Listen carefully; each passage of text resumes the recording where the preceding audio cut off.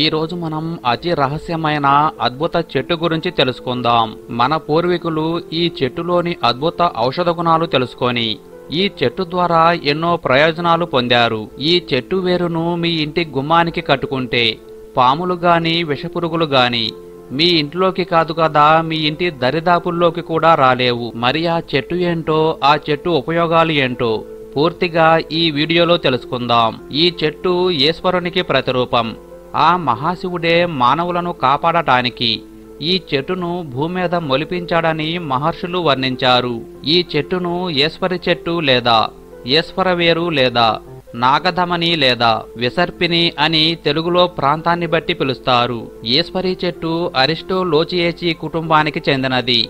దీని వృక్షశాస్త్రీయ నామం అరిస్టోలోచియా ఇండికా అంటారు. దీనిని ఇంగ్లీష్లో స్నేక్ రూట్ లేదా ఇండియన్ బర్త్వర్ట్ అంటారు. ఈశ్వరి చెట్టు పొదలా పెరుగుతుంది.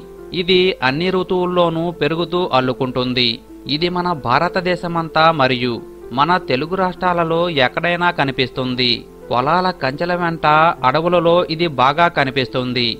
రోడ్లకు ఇరువైపులా చెట్లకు అల్లుకొని కనిపిస్తుంది. ఈ చెట్టుకు చాలా బారుగా తీగలు ఉండి దట్టంగా అల్లుకుంటాయి. ఈ చెట్టు తీగకు ఎటువంటి ముళ్ళు నూగు లేకుండా నున్నగా ఉంటుంది. దీనికి పువ్వులు గరట ఆకారంలో ఉంటాయి. కాయలు కోలగా షడ్భుజాకారంలో ఉంటాయి.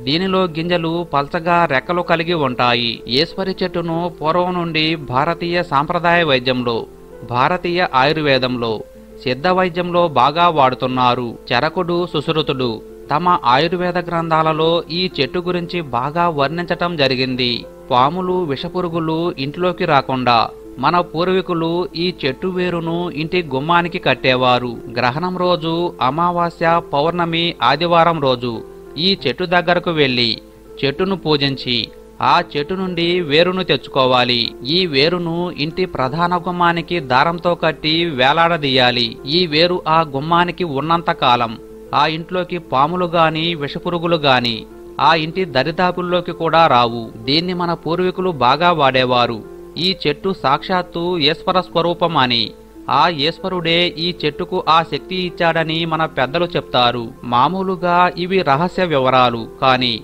మన సబ్స్క్రైబర్స్ కోసం ఈ చెట్టు గురించి అన్ని విషయాలు తెలియజేస్తున్నాం. అదేవిధంగా రైతులు లేదా రాత్రులు తిరిగేవారు.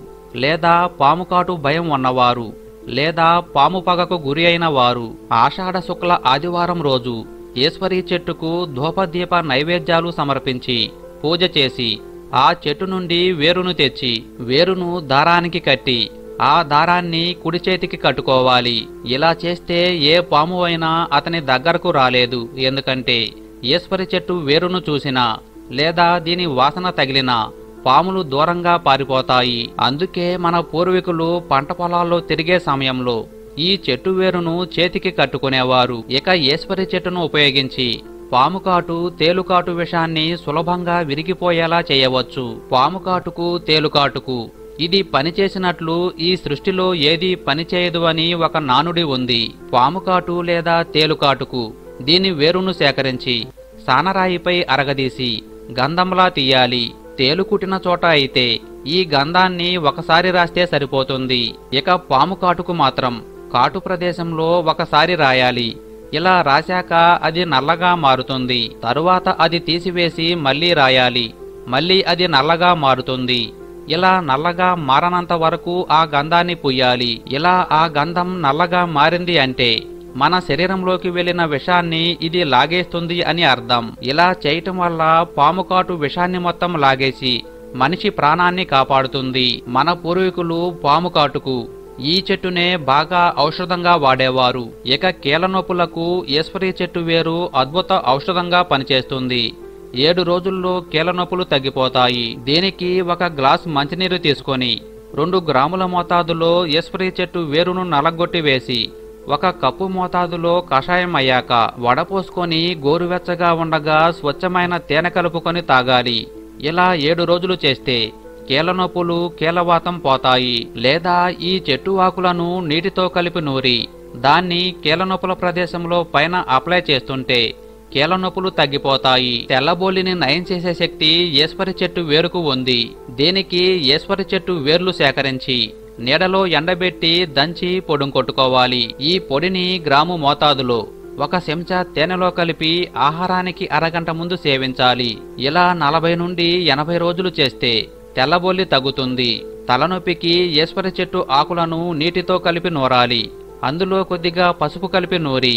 ఆ పేస్ట్ను నుదుటికి అప్లై చేస్తే తలనొప్పి తగ్గుతుంది. భార్యాభర్తల మధ్య శృంగార సమస్యలు ఉంటే మగవారు ఈశ్వర చెట్టుతో ఇలా చేయాలి. ఈశ్వరి చెట్టు వేళ్ళను పువ్వులను తెచ్చుకొని నీడలో ఎండించి దంచి రెండింటినీ కలిపి పొడిలా చేయాలి. దీన్ని భద్రపరుచుకొని కొంచెం పొడిని మంచినీటితో మెత్తగా నూరి గంధంలా చేసి దాన్ని పురుషాంగానికి రాయాలి. ఇది ఆరాక భార్యాభర్తలు కలవటం వల్ల భార్యాభర్తల జీవితం ఆనందమయం అవుతుంది. కాబట్టి ఈశ్వరి చెట్టు వల్ల ఇన్ని ఉపయోగాలు ఉన్నాయి.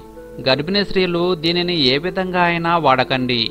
పొరపాటున వాడితే గర్భస్రావం అవుతుంది. అదేవిధంగా ఈ చెట్టులోని ఏ భాగాన్నైనా మోతాదుగా ఔషధంగా వాడాలే తప్ప అధికంగా శరీరంలోనికి తీసుకోకూడదు. ఔషధంగా మరియు బాహ్య ప్రయోగాలకు వాడితే ఏం కాదు.